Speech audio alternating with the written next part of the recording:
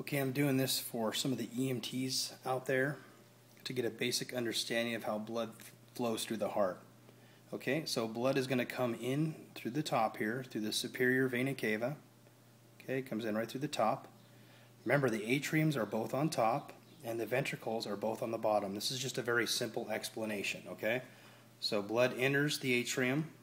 It goes into, by the way, that's the right atrium. So remember, right atrium. Now we're talking anatomical right, right?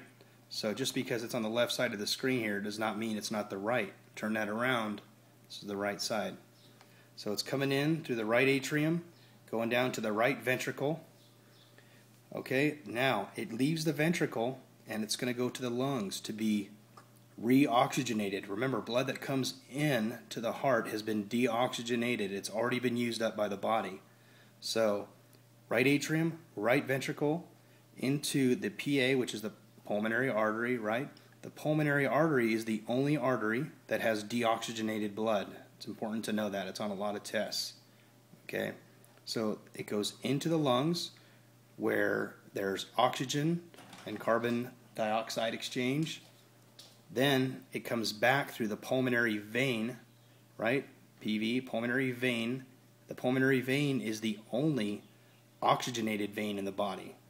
Remember, blood comes in through the top, through the atrium, comes in through the left atrium, now it's on the left side of the heart, down into the left ventricle.